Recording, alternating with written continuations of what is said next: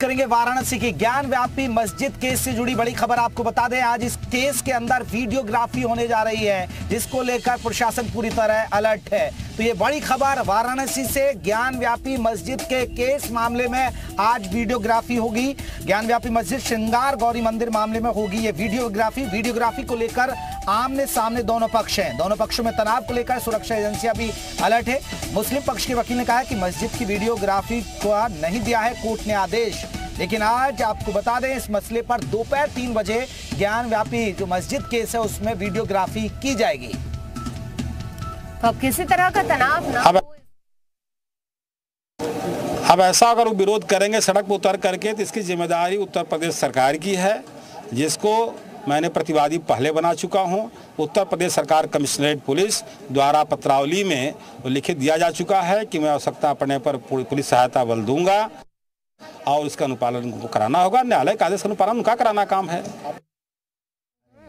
वो खुद वो खुद उन्होंने जो एप्लीकेशन दिया है कि उनके प्लेन के मुताबिक उनका खुद का ये कहना है कि जो माँ सिंगार गौरी की मूर्ति है वो ज्ञानवापी मस्जिद के पश्चिमी दीवार के बाहर की तरफ़ है। स्पष्ट रूप से मंदिर मस्जिद के अंदर जाने के लिए या उसकी वीडियोग्राफी कराने के लिए कोर्ट ने कोई ऑर्डर दिया ही नहीं है।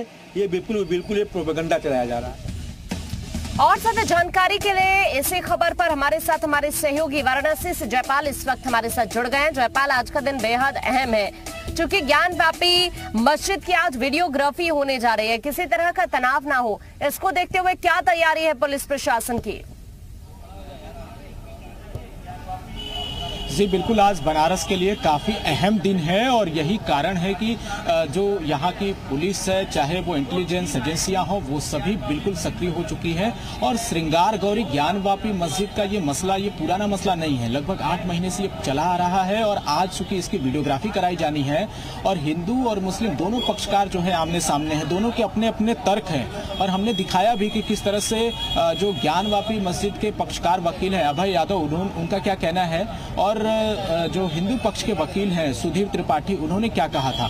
लेकिन ये तस्वीरें आप देखिए कि यही वो ज्ञानवापी मस्जिद है, इसके पूरे चारों तरफ़ जो है वो बैरिकेडिंग की गई है और ये काशी विश्वनाथ मंदिर परिसर में स्थित है। और सबसे दिलचस्प बात यह है, हमारे दर्शकों को जानना बेहद ज़रूरी है कि ये काशी विश्वनाथ मंदिर और ज्ञानवापी मस्जिद का मसला अलग है और श्रृंगार गौरी और ज्ञानवापी मस्जिद का मसला अलग है।